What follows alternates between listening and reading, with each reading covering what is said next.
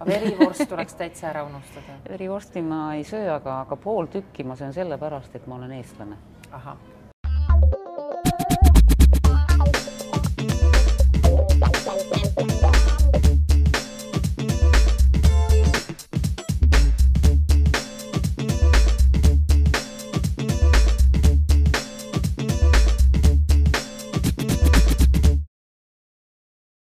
no tere tulemast jälle hommikusöögile, sa oled teist korda, me oleme sinuga koos hommikusöögil, mis on ainulaadne, sellepärast et sa oled esimene külaline, kes on mul nüüd teist korda kutsutud hommikusöögile ja täpselt aasta tagasi oli meil siin vanalinnas Controventos.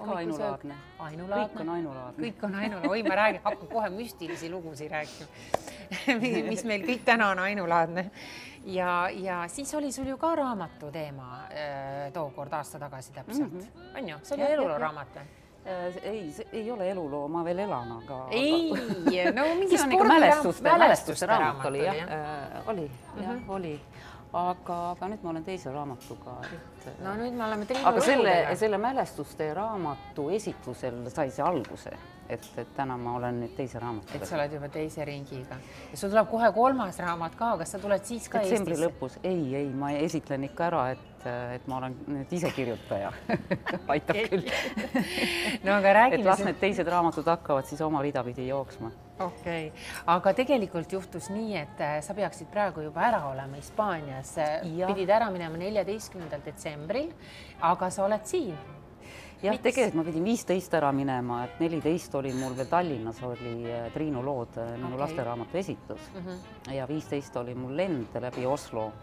Aga siis tuli kiirelt äh, just vahetult enne kõne, et, et Eerik, et Saku Suurhallis on suur Sportlandi pidu mis on kakskümmend viis aastat Sportlandi, kes on olnud minu aastate, aastate, aastate pikkune sponsor kogu aeg mm. -hmm ja, ja, ja siis nad väga soovisid, et, et ma oleksin kohal ja see tuli, see oli stiilipidu, mis tõeliselt oli vahva, kaheksakümned, üheksakümnendad, siis kui Sportland äh, alustas kunagi üheksakümne viiendal ja sellest ajast me oleme nagu Are, Are Altra ja Sportlandi siis suuremaid tegijaid äh, ja Anti veel äh, partnerid.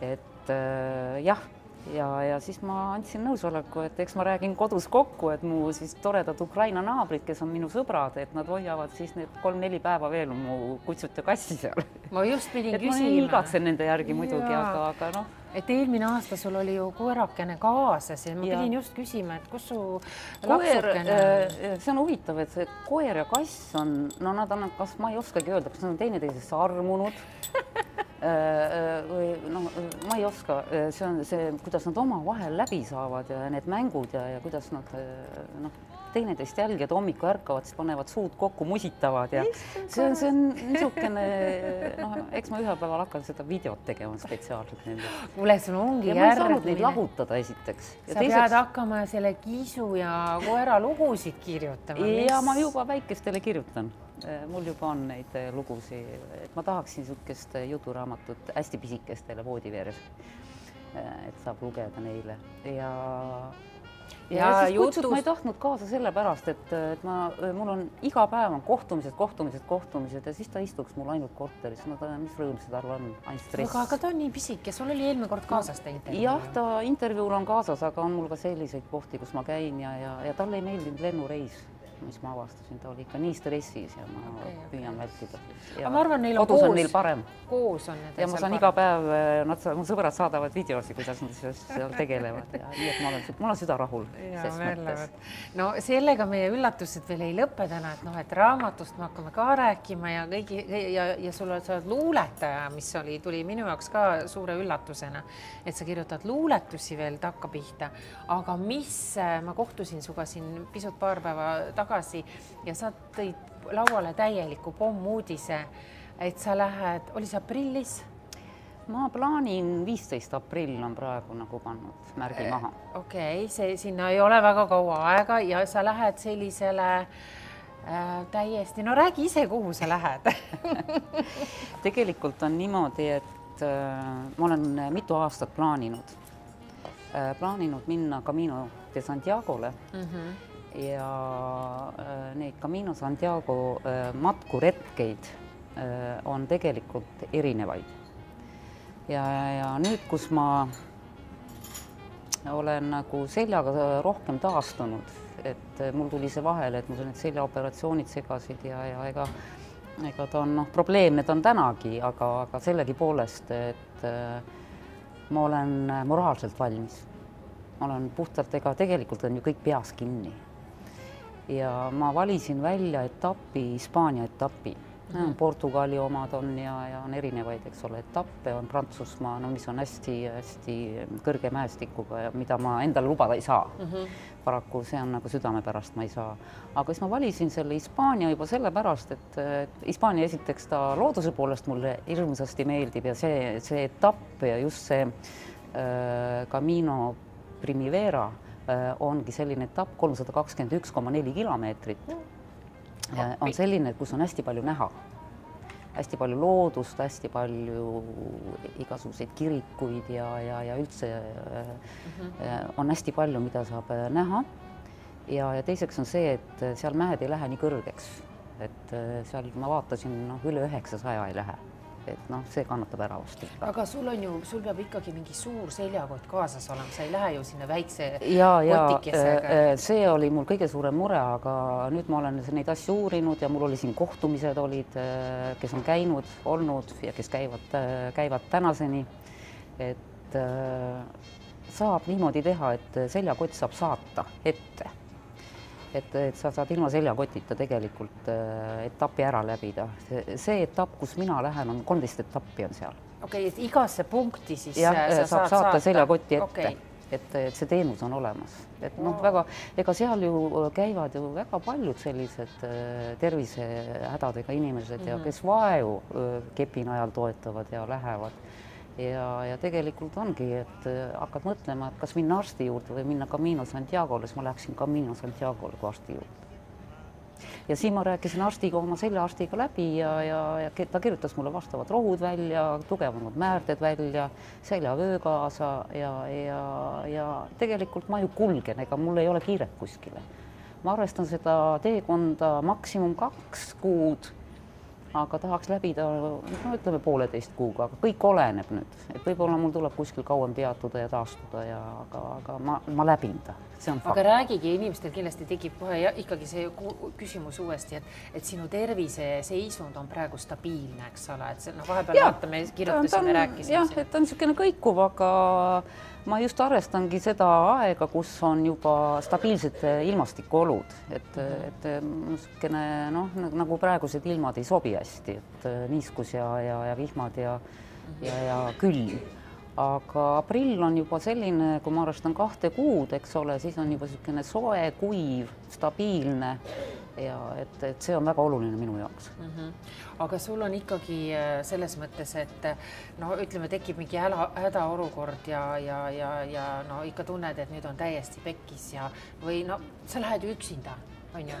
ma lähen üksinda, aga seal on inimesed, mis on, mis on ka selle Camino Santiago üks, üks huvitavamaid osi on see, et seal on eri rahvustega inimestega, sa saad tuttavaks, nad tulevad eri äh, eri kas probleemidega või mitte probleemidega. et mõnel on psüühikaprobleemid ka kindlasti no,. No, on igasuguseid, selle tunned ju ära selle mhm. teekonna peal, et eh, kellega sa tahad suhelda ja kellega ei taha ja mõnikord ei taha üldse suhelda, tahadki üksi minna mm. -hmm. ja ma usun, et eh, see üksi minek ongi see, tegelikult minu eesmärk ongi üksi minna okay.. et iseendaga tegeleda ja, ja oma valud ja, ja oma probleemid või, või, või oma, kui ongi neid, no ma arvan, et mul neid probleeme eriti ei ole aga, aga ikkagi midagi on, midagi veel, mida tahaks endas leida mm -hmm. ja avastada ja ma usun täiesti ja ma usun, et ma leian ja avastan veel palju endas midagi. Kas sa pead mingit päevikut ka seal või, või kirjutad üles või, või...? kindlasti iga päeva ma kirjutan üle, mul juba äh, jõuludeks kingiti äh, väga vahvad äh, kolm päevikut et, et ma võtan need kaasa, kuhu ma hakkan kirjutama. Need tuleb täis kirjutada, aga ja kui me rääkisime sellest, et noh, kui seal peaks nüüd midagi juhtuma, et, et no mis see on see emergency, et noh, et juhtubki midagi, kas sul on mingisugune, ma ei tea. mul ongi. Telefon see... saab olla kaasas või? no ikka, ikka on, telefon on kaasas, aga mul on ju seesama, mis mul kodus on, on Hispaania kogu igasse linna, igasse kohta, kuhu ma Hispaanias ei, ei satu, on mul selline pult, on kiirabipult olemas, see on mul kodus. Okay. ja selle ma saan kaasa võtta. Ja see on GPS-i näol, siis ta on tegelikult ühendatud nagu Madriidi kaudu. ja kui midagi juhtubki, vajutan sinna ja nad selle järgi, GPS-i järgi võtavad, kus asud ja, ja tulevad kohale ja igas külas ja igas selles linnakeses on ju ikka oma, oma noh, kiirabipunktid olemas mm. -hmm. et selle ma olen nagu üle vaadanud ja igaks, igaks juhuks, aga ma, ma nagu ei tahaks sellele mõelda ja, ja ma ei mõtlegi sellele. ei tohigi sellele mõelda loomulikult, aga üldiselt su tervislik seisund, et kas sa käid Eestis või, või noh, kui palju sul läheb üldse, kas sa pead iga päev mõtlema selle peale, et okei okay,, ma pean selja eest hoolitsema, et ma te, pean tegema mingisuguseid mm -hmm. protseduure või, või nagu sa ütlesid, kas pead mingi salviga määra või määrima või ma tean näiteks seda, noh, juba eelmine kord rääkisime, et et sa ikkagi käid iga päev saunas? ja äh, ma äh, praegu olengi siin äh, Nordic hotellis. ma nüüd kaheksa aastat elan Hispaanias ja kui ma peatun lühemat aega, siis ma olen alati selles hotellis. esiteks see hotell mulle meeletult meeldib mm, -hmm. ta on niisugune ubane, kodune, teenindajad on kõik tuttavad, toredad hästi sõbralikud e, ja, ja mis mulle siin meeldib, on see spa siin. ta on niisugune noh, armas selline ja rahulik, ei ole rah-, ei ülerahvastatud ja ma tean täpselt aegu siin, et ma tulen kuskil lõuna ajal, ütleme kella kaheteistkümnest kella neljani. mõnikord on nii, et ma olen nagu privaat, privaatspa mulle kohe mm -hmm. ja, ja ma käin iga päev siin. Äh, ma teen veeharjutusi, äh, äh, siis massaaži, eks ole, noh, veemassaaž on ikka kõige parem massaaž mm -hmm. ja loomulikult saun, nii nagu ma teen seda oma kodus. iga iga päev, päev ega sauna, sauna tuleb osata teha. see ei kuivata natuke nahka või? mina natuke kardan seda ei, kuiva sauna just ei, ei äh, tegelikult ju äh, ta ei olegi päris kuiv, sa ikka viskad leili. Mhm. -huh. aga sauna ei pea tegema mingisuguse saja, saja kahekümne kraadiga. Äh, kui ma kodus teen, mul on pisikene saun mhm. niisugune -huh. sünni, sünnitaoline, kahekohaline ja, ja, ja seal on mul ainult kuuskümmend, seitsekümmend kraadi sauna põhimõte on tegelikult ju puhastada ennast, higistada. Okay.. mitte see, et sa lähed sinna, kõrvetab ja hüppad välja sealt, no mis sellest saunast kasu on? põhimõte ongi see, et sa saad ennast organismi puhastada, sa sööd ja jood äh, vedelikku ja see tuleb välja puhastada ja et uuega asendada. ja, ja see on see põhimõte ja tegelikult äh, kui sellega harjud mm,, siis on see, et see higistamisprotsess hakkab juba kolme-nelja minutiga sul pihta et äh, aga seda tuleb teha, ega saun on treenitav äh, äh, saun on treenitav, ega noh, nädalas korra sauna, noh, tore küll ja on, on ju tegelikult hea enesetunne. aga kui iga päev, kui teha, kui treeningprotsessina seda, see on fantastika. ja mina olen selle avastanud enda jaoks ja ma avastasin just selle siis, kui mul nagu äh, tekkisid piirangud treeningutega selja pärast mm. -hmm.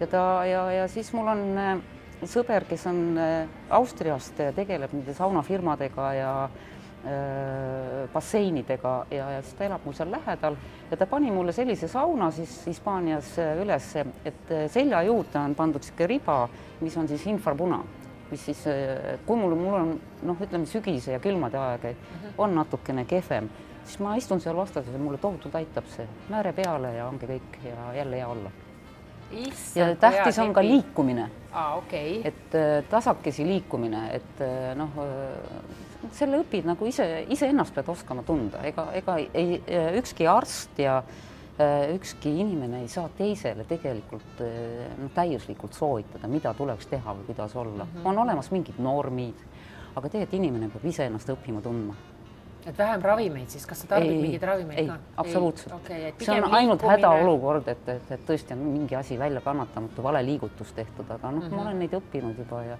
isegi koristamisel, siis ma tean ka täpselt, kui ja kuidas kükitada või kuidas võtta või, või asju ja noh, see on elu mul üks osa on see, selle probleem küll, aga ta ei tee mulle noh, ta ei tee mulle liiga sellega, et ta segab mind elus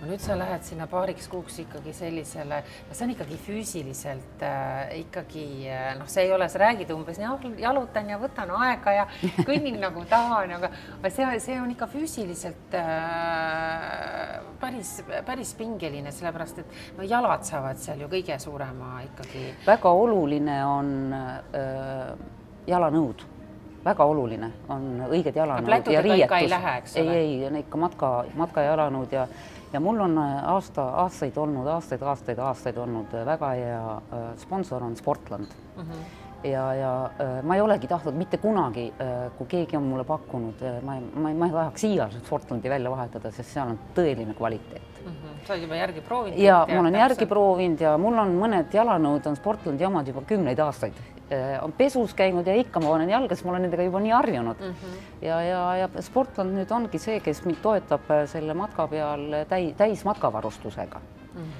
Ja, ja, ja kerge ta peab olema, et kotti panna, äh, et kiiresti kuivaks, siis väga oluline on jalanõud, eks ole mm -hmm., noh, ja üldse riietus, et, et see on, see on oluline matkal ja, ja siis äh, kott, eks ole, et noh, mõne väiksema etapi läbi ikka noh, võtad kaasa, eks ole mm, -hmm. koti, aga suurema või pikema otsa peale siis saadad nagu teekonnale äh, teise otsa kus sa lõpuks nagu peatuma jääd. Äh, aga seal on ikkagi etapis. ettevalmistust ka vaja mingisugust või võib näiteks, ikka on. ma mõtlen täna, et oh, ma lähen ka siin paari kuu pärast. ei, ei, ei, ei, eks ma, eks ma praegu olen ja ma ikka käin ikka päevas no noh, küll mitte palju, neli-viis kilomeetrit. Äh, iga päev? ja äh, käin Hispaanias, jalutan ja, ja nüüd ma hakkan siis sisse nagu äh, töötama oma ja noh, riietust, et.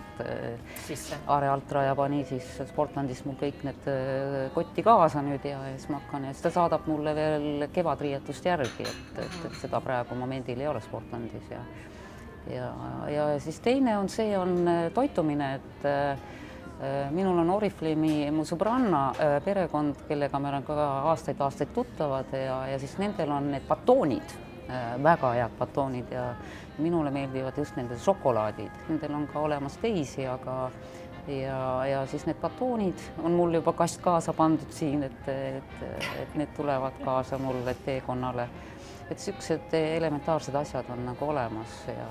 aga mm, räägi mulle pisut sellest, äh, nüüd ikkagi räägime sellest Triinu lugudest ka ikka natuke, kus me sellest nüüd siis mööda saame mm, -hmm. et äh,. võtame selle Triinu äh, raamatu välja.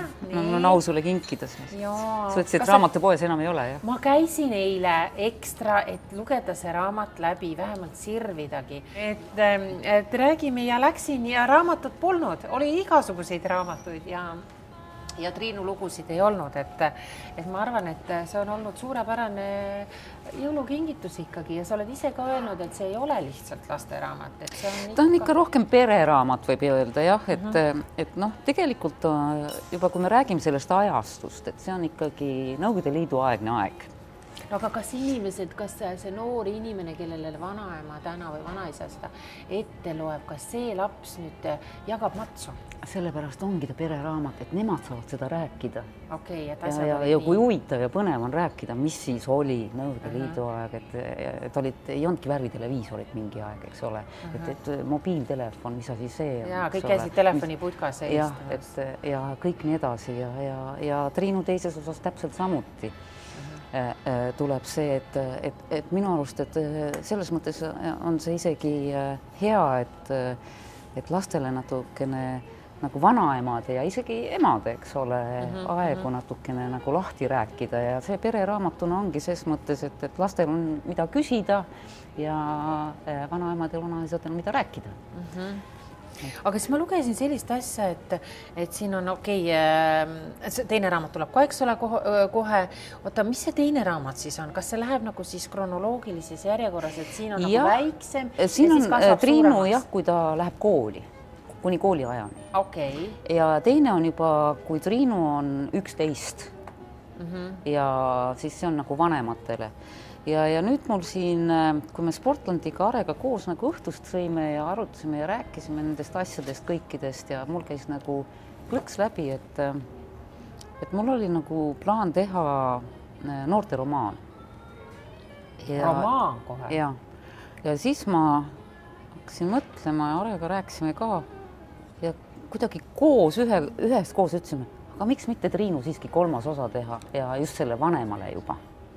et on ju, mida seiklusi ja, ja huvitavaid lugusid kirjutada mm. -hmm ja just selle üleminekuaeg siis ütleme, see Nõukogude Liidu üleminekuaeg, noh, ütleme, et nagu oma nagu inspiratsiooni sealt nagu oma elust aga lood kui sellised tulevad välja mõeldud, Triinu ka, kui eks ole, tüdruk on välja mõeldud mm, -hmm. aga inspiratsiooni või nagu siukseid mõtteid saad teistelt ja, ja, ja iseenda, enda elust nagu mingisuguseid, mitte see, et minu oma äh, siia sisse läheb. aga miks sa niimoodi äh, nagu ei tahaks, sellepärast et ei, olgem äh, ausad, miks, miks sa inimesi tegelikult ju Äh, huvitaks ikkagi see, et noh, sul ei ole kerge lapsepõlv olnud, olgem mm. ausad, sa oled ise rääkinud siis oleks see biograafiline, ma ei taha. sa ei taha biograafilist? ma ei taha, ma ei taha biograafiat. aga kas sul on siis see mõte ikkagi tiksub kuskil tagakuklas, et kunagi sa kirjutad elulooraamatu, kus on siis kõik nii nagu päriselt? ei, ma arvan, et mul see elulooraamatuga lõppes ära Signega see teekond mm, -hmm. et, et ja eluloo-raamat, noh, ma, ma ei oska öelda, kui õige on sõna elulooraamat, sellepärast et mina nimetan ikka mälestuste raamatut, sellepärast mul sihuke tunne, et elulooraamat on sees siis, kui sa enam siin nagu maa peal ei, ei tatsu. keegi teine kirjutab ja, siis. jah, jah, et, et no ütleme, võib-olla isegi, et mina olen kirjutanud ja mida ma teengi ehk mm, -hmm. et minu kappides on olemas, aga ta võib selle pärast kunagi kirjutada lahti siis raamatusse aga, aga. no miks sa eluajal ei tahaks seda teha nagu, kas see on liiga valus? ei, ei, äh, tähendab, ma leian, et eluloo-raamat on siiski, kui inimest siin ikka maa peal enam ei ole, et siis on ta eluloo-raamat mm. -hmm. et siis on nagu lugu lõppenud, elulugu on nagu lõppenud mm. -hmm. ja, ja küll ma sealt ülevalt siis vaatan aga siis sa ei saa ju korrigeerida. kõik me ju ükskord, äh, ükskord ju sealt hakkame vaatama. ja, aga siis korjatakse siin, nagu meil on viimasel ajal on tehtud, eks ole, et korjatakse siin igasuguseid killukesi ühe inimese jutt ja teise inimese jutt ja kolmanda ja siis mingid päevikud korjatakse välja. Ja siis see, kes lõpuks selle kokku kirjutab, siis ta, ta, see on ikkagi läbi tema pilgu ja läbi tema nagu, no kuidas tema sellest asjast aru saab. Ja siis sa ju enam ei saa öelda, et oi-oi-oi, ei selle osa jätame nüüd välja, see on täiesti vale. Mm -hmm. ja see tuleb ümber kirjutada. ei äh,, tähendab kui ma oleksin ja õiglane oleks see, et nad kirjutavad seda, mida mina ise olen kirjutanud ja mis on minu sahtlites mitte see, et sinna hakatakse lisama juurde, ta on nagu käsikirjana valmis. on või? jah wow.. et üheks ajaks on ta käsikirjana valmis, aga, aga, aga siis. oled sa siis mingi testamendi teinud ja aga, kirjutanud? aga absoluutselt, ega siis ja kõik öelnud, tuleb, et minu... seda ei tohi nagu muuta, see jääbki nii. et äh, ja, ja see jääb nii okay.. et, et noh aga nüüd tulevad, no okei okay,, ühesõnaga, aga ikkagi olgem ausad nendest Triinu lugudest, need üks, kaks, kolm, et seal on ikkagi nagu mingid ikkagi nagu mälestuse killud, et noh, need ei pruugi sinust olla, teistest lastest ja teistest. Äh, tähendab, äh, kuidas ma ütlen, et äh, mis nagu tundub väga palju mind siin, et need kattuvad sellega, et mina olen olnud lastekodus mm, -hmm. siis väikelinnas ja, ja ausalt öelda, siis see on küll, et need kohad kus Triinu viibib või, või, või, või need lood, kust nad tulevad, need on äh, minu, minu kohast, sest mul on hea piltlikult siis kirjutada hea mm. -hmm. siis mul on palju lihtsam seda teha see tuleb nagu siis nagu kuidagi siiram või, või inimestele lähedasem mm. -hmm. et äh, seda ma teen aga lood iseenesest on äh, siis ikkagi nagu ilukirjanduslikud mm, -hmm. et, et on kas seal on kurbasid lugusid ka? siin on kõike, aga tegelikult ta on iseenesest on positiivne. Äh, nii palju, kui noh, äh, minul on tagasisidet, siis on äh, ikka ütlevad, et nii vahvalt positiivne tegelikult. Need vähemalt mingid lookesed või mingid asjad lõpevad nagu alati positiivselt. aga ta, ta on suht küllaltki emotsionaalne, sellepärast et kui ma ise kirjutasin ka, ega siis, siis oli ka niimoodi, et ma ise üksinda suure häälega vahest naersin mõne, mõne asja üle, siis ma mõtlesin, et huvitav, et naabriseinad kuulevad hästi, et, et nüüd ma hulluks läinud seal või. ja, ja siis teinekord isegi mõnes nukramas kohas, noh, niisuguses eh, etapis väikene pisar tuli ka isegi emotsionaalselt, et, et tegelikult raamatu kirjutamine on tohutult emotsionaalne. ja, ja kui ma lõpetasin käsikirja siis on niisugune tunne, et sa oled nagu ei tea, mis suure töö ära teinud, tühi, täiesti tühi. et, et see ei olegi nii lihtne et see ei olegi li nii lihtne, et, et äh, jah, ta on ikka väga vaimne. Aga ta on ka kuidagi siis nagu raviv tegelikult. ikka, ikka, ikka, ikka. mõjub sellise ja nagu ta, puhast, ta, puhastusena vast. jah, ta no ma olen, ma olen ju kogu aeg olnud kirjutaja tegelikult. see tuli meile alles, meile tuli no, üllatusena. sellest ma jah, ei ole rääkinud lihtsalt, et ei, ei ole pidanud vajalikuks. aga niisugune äh, lahti kirjutamine iseendast on hästi raviv. et kui inimestel on probleemid, proovige seda, võtke paber, pliiats ette, vahest ei saa endale küsimusele vastust, et mis mul, mis mul lahti on, mis minuga lahti on, kirjuta mm -hmm. lahti ja leiad vastuse. tihtipeale leiad vastuse just läbi kirjutamise. sul, sa rääkisid mulle ühe hästi toreda loo sellest, kuidas sa käisid, noh, toome lihtsalt mingisuguse killukese siit raamatust, ma ei tea, kas see on seal raamatus ka, aga, aga sa rääkisid, et kui sa, et sul oli nii tore lastekodus see hambaravikabineti äh, arst, kelle juures sa käisid, sul ei olnud isegi hammastes. mul oli koolis. ah, see oli koolis? ja see oli alg, algklassis oli äh, jah, oli mul koolis oli armas äh, niisugune vanem naisterahvas, halli peaga, ma mäletan selline ja mul, minul meeldis temaga alati käia tema juures jutustamas.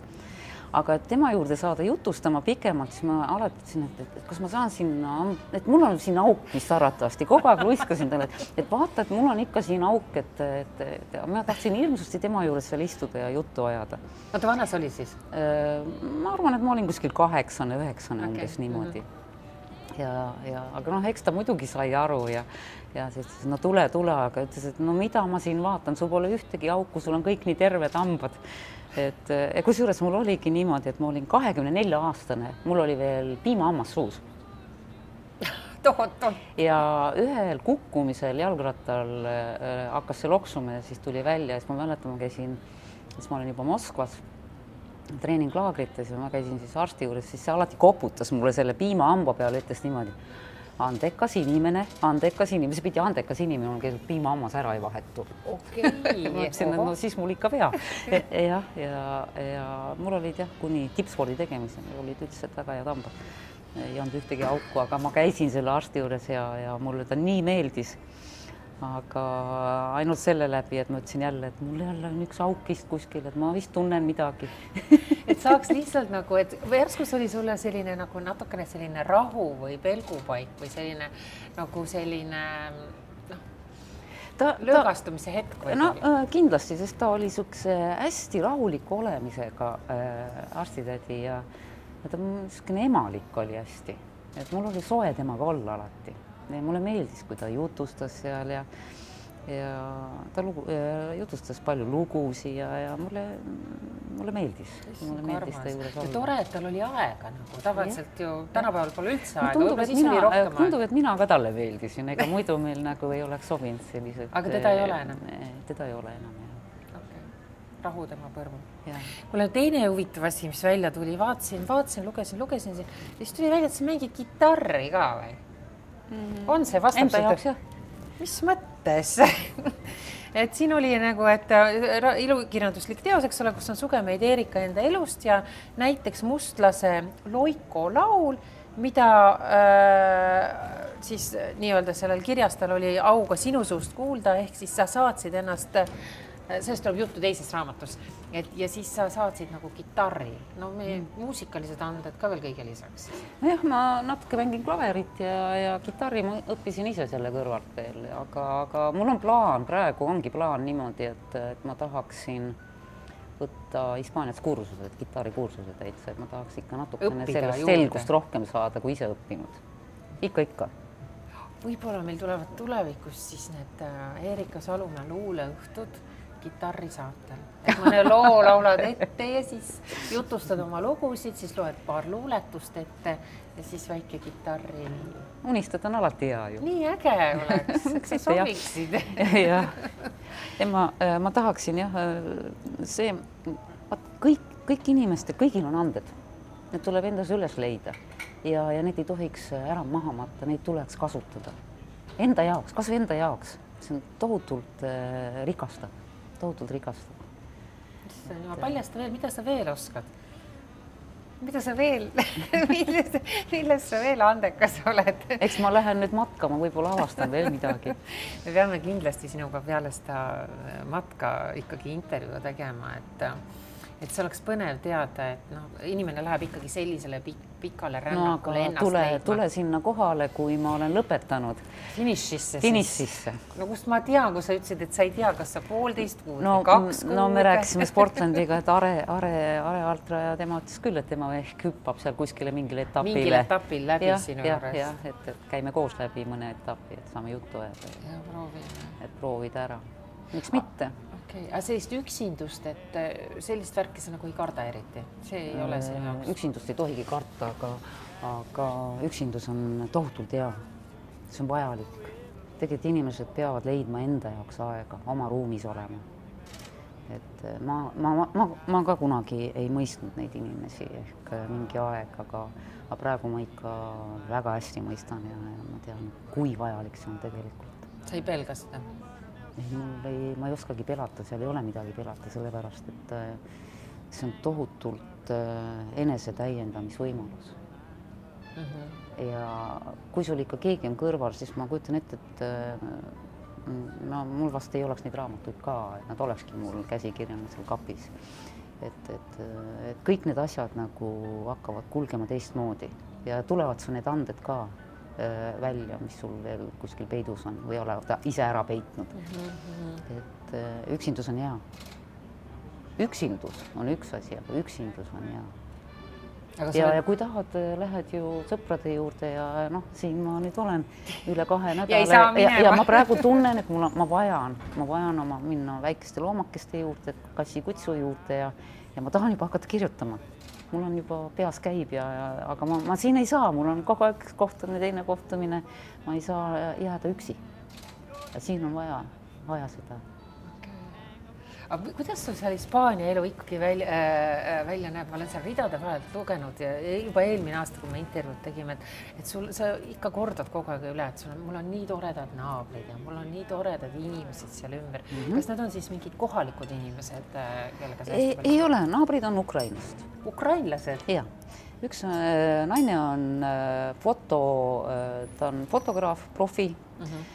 Äh, mees on IT peal, teeb Äh, ka ajaloolisi asju, väga intelligentsed, hästi toredad, sõbralikud ja, ja muidugi ümbruskonnas on mul väga palju ka Hispaania sõpru ja, ja inglastest ja, ja muidugi hästi suur kogukond on, kus mina elan, minu kandis on saksa äh, kogukond on hästi suur mm. -hmm. et nii, et niisugune multirahvuslik on see koht seal üldse ja, ja. aga ja, eestlased? eestlased ka, eestlased loomulikult, see on eesti keelt ma räägin ikka seal ka tihti. aga kas sa kohalike eestlastega üldse käid nagu noh, peale nende Oriflame'i tüdrukuid ma tean nagu,, ja, ja, ja nemad, ja nendel on seal elamine mm -hmm. Tenias äh, poiss käib äh, nüüd sealsamas koolis, äh, kus Sirli käis ja mm, -hmm. ja aga siis ähm, seal mägede poole on mul üks perekond, eestlased ja aga eestlasi aina tuleb juurde sinna tuleb ja tuleb, et, et eks, eks see kliima ja, ja tahetakse sooja ja laste pärast, et haigused ikka ja ikka kuuled, et kogu aeg haige, haige, haige, et tullakse mm -hmm. juba kliima pärast sinna. eks me viriseme ka siin ja siis meile heidetakse ette, et miks me nii palju viriseme ja me oleme nii rahulolematud siit Eestis, aga ma ikka mõtlen, et, et ju see kliima teeb meist ka natuke. Nagu kindlasti, kindlasti ma olen täiesti kindel, sellepärast ma ise tunnen, et, et kümme päeva ah ehk on maksimum ja siis ma tahan tagasi. mis sa suudad siin olla? ma tahan nagu? valgust, ma hommikul ärkad, on päike, valgus. see on pime. see pime on rusuv mm. -hmm. hall, pime. ja loomulikult see, see, see virisemine on ka üks osa sellest. on see õigustatud meil siis või? mis me peaks tegema, me ei saa kõik Hispaaniasse kolida. ei, ega ei nagu peagi, aga, aga ma arvan, et äh, miks mitte proovida panna see kulu, et ära mine poodi seal, vaata, mida osta, võib-olla paneks selle hoopis, äh, jätaks, jätaks ostmata, et asju ei pea olema palju. Ja paneks selle puhkusereisi jaoks, et aastas paar korda käia päikseenergia käes, kui siin seda nii vähe on. et äh, see, see laeb ja see annab väga palju juurde, mhm. sest äh, noh tegelikult ju kannatavad sinu ümbrus ju, sinu inimesed, sinu lähedased ju kõik, et kui on nagu pahasti olla mm. -hmm. ja kui sa seal ikka korra ära laed, ma näen oma sõpru, kes käivad nad on hoopis teised inimesed, tulevad siia rõõmsad ja ja vaatad nagu nende Facebooki postitused kohe on teised mm. -hmm. et, et tegelikult see oleks õige et rohkem särtsu tuleb ja energiat tuleb et, sisse, et, et selle asemel, et, et kraapida ja, siin ja, seda ja, igasugust. Äh, ja, ja, ja kui vara... palju tehakse ju lennureise ja mitte üldse kalleid ja, ja, ja kõiki võimalusi on. no järgmine kui... asi, mida eestlane hakkab kohe vinguma, ai Tallinnast ei saa kuhugi lennuki peale, peab minema läbi Riia, Stockholmi või Helsingi. no mis see siis, mis see siis nii väga on, et noh, mina lähen läbi, äh, läbi täna öösel lendan äh, läbi Moskva üldse. ohoh sellepärast et ma tahan olla päeval juba tagasi Alicantes äh, lennujaamas, kell kaksteist äh, olen ma siis äh, ja kell üks ma olen kodus juba päeval. et tegelikult ega see, kui ma nüüd siin stardin näiteks hommikul vara ja ma olen näiteks õhtul kella tavaliselt Oslo lennuga, et hommikul stardin kell kümme, pool üksteist ja olen õhtul kell seitse kohal. see on sama hea, kui ma hakkan siis startima, olen Võrus autoga ega siin suurt vahet ei ole ju. no ainult, et eh, lennukid kas me peaks seda ka kadestama, et eh, seal Hispaanias ikkagi on, kas seal on täna odavam elada või oi, Eestis? oi, oi, siin, siin, siin ikka karjub, kui lähed poodi. on on, on, siis paned korvi seda, seda, sedasama, mida ma nagu ostan nagu puuviljad, juurviljad eh, ja nii edasi, paned selle täis ja siis on ikka kahe-kolmekordne vahe on. no see teeb Tohutu. ka meid kurjaks ju no ma usun küll, see palgad ja, ja kõik, eks ole, pension. Uhuhuu, äh, jah, äh, see on, see on karjuv, ma ütleksin vahe. Aga kas järsku võikski eestlastele soov, soovitada, et kuulge, et emigreeruge kõik sinna ei, ei, ei noh, kodumaa on ikka kodumaa ja ega äh, sellepärast ei pea ei pea, aga, aga, aga noh, on vahe, on vahe. no näiteks, kui nüüd mõni eestlane ikkagi mõtleb, et oi, et aitab, mulle aitab küll ja paljud on mõelnudki, ma tean oh, enda no, tutvusringkonnas. minu ringkonnas on hästi paljud ja, ja mõned tulevadki, jah kriipsu alla ja ma lähen ära. lihtne öelda, ma lähen ära, aga mida ma seal Hispaanias siis teeksin, sest ma mäletan, kunagi sa läksid ju ka ära, eks ole, sa pidasid ju mingit mm -hmm. jalgratta. No ma sportlastele majut, majutuste ja laagrite nagu organiseerisin aga.... ja see ei olnud sugugi kerge sul? ei äh,, nüüd kui nüüd mõeldakse, et ma tulen nüüd Hispaaniasse ja mind töö ootab, siis sugugi mitte, et noh, minul oli lihtne sellepärast, et ma olen ikka Barcelona olümpiavõitja ja hispaanlane tegelikult ei usalda seda ma olen ikka rääkinud. hispaanlane ei usalda, kui ta võtab võõramaalast siis või? ei, ta usaldab siis, kui sa, sa pead tõestama millegiga, aga noh, mina olen tõestanud oma, et mul on nimi mm -hmm. ja, ja, ja see, mind võeti väga lahkelt vastu ja ma sain kergelt endale nagu äritööle seal. aga üldiselt ei ole seal sugugi lihtne. ei ole sugugi lihtne saada tööd. ja noh, muidugi, kellel on väga paljud, kes mul on tutvusringkonnad, need läbi, läbi interneti töötavad ja, ja nendel on lihtsam mm. -hmm. et aga, aga et tulla ja nüüd hopsti, et. kujutada no, ette, et ma tulen lihtsalt sinna no, küll ma midagi ikka leian. no ma arvan, et see on igas riigis, ega kui Eestisse tuleb keegi, Eestisse tuleb ka, et, et kuule, tere, et ma nüüd olen sealt just ükskõik kuskohast pärit ja, ja anna mulle tööd, ma ei. aga mõne lihtsa töö ikka saab. noh, ei tea, aga seal seda lihttöölist jätkub mujalgi. jah et pole siin midagi, et sa pead ikkagi oskama mingit valdkonda. no ja teiseks ala. on keel vajalik, ega ilma keeleta ikka seal nagu kas sul on hispaania keel suus juba või? no küllaltki jah, on, on, on. sa saad ju hakkama seal? ja, ja inglise keel, hispaania keel, noh, need keeled peaks olema ikka olemas aga kuidas sa seal äh, nagu selles mõttes nagu hakkama saad, noh, inimesi ikkagi huvitab, et, et sul ei ole ju vaja enam mitte midagi teha, eks ole. sul jookseb mingi olümpiasangari pension siit ja. jah, jah, ja ma saan kenasti ots otsaga kokku ja hakkama ja, ja et mul on nagu. et okay. inimesi huvitab see, et ütleme, et ma olen pensionär, saan noh, ma ei teagi, mis siin pension on, võib-olla on nelisada eurot, eks ole no,, maks kuidas no kuidas kellegi, kellegi., no ja. ütleme, et on kuussada, mõnel on natukene ja. rohkem. no kuussada sellist... on juba jah. kas see kuussada eurot oleks see raha, millega siis imepisikene mingi luugikene seal endale rentida ja siis rahulikult ära elada seal? kuuesajaga? jah. jaa. Hispaanias? jaa et sa ei pea ju Barcelonas seal kuskil elama, sa ja, võid mõnes väiksemas kohas. väikses, väikses äh, sisemaal Äh, mitte mererannas just, eks ole, et valida ja niisugune ja see on täiesti võimalik. Okay.. sellepärast et tõesti, et äh, noh, näiteks mina, mina käin ju, palju ma seal poeski käin, et poes on ikka otsa pandud, aga ma käin turul, mul on üle tee turg. ja sealt on ju, panen nädala, nädala toidu panen külmkappi ära nii rahulikult, et järgmine nädal juba värske jälle uus. Kuna ma ei toitu lihast ja, ja, ja siis noh, niisugused kala. sa oled vegan ka meil veel? ei, ma ei ole vegan. aga ma liha ei söö? ma ei söö liha, ma ei söö liha ja piimatoite ja sai ja, ja tainalist, nagu öelda. muna söön, muna on laua peal jah, ma just ma tahtsin küsida, et meil on muna laua peal, et kas sa muna ikka sööd, aga saia, süsivesikut, seda, see croissant ei lähe kohe mitte. see ei anna mitte midagi, miks ma peaksin seda sööma? Aga ta näeb nii võluv välja krabis ja see, see paraku meie, meie, meie inimkonna terviseviga ongi, et me sööme silmadega ainult mm. -hmm. et äh, paljuski sööme silmadega. et, et tegelikult tervis... minu maitseomadused on täiesti muutunud äh, noh, nüüd juba ma arvan, et juba üle viie aasta aasta. seda on näha ka, sa oled jumala super heas vormis, sa oled Aitäh, sale, sa oled nagu toonuses, noh, sul nahk särab, kõik ja, on hästi. et äh, aga see kõik ongi, see on see, mida sa ikkagi sisse sööd mm. -hmm. inimesed ei saa siiamaani aru sellest muuseas, ma olen Ega. Öeldakse, et ma pean nüüd hakkama ruttu ja kõvasti liigutama, ma pean trenni tegema. no ei tee see sind paremaks. kõva trenn ja see mm. -hmm. toitumine see... kooskõlas sellega ja kerge liikumine, sa ei pea äh, tõesti, nagu ma Marko saates ütlesin ka, et sul ei pea igimullid otsa ees olema ja iga päev vehkima seda trenni tegemist mm, -hmm. et hoida ennast vormis.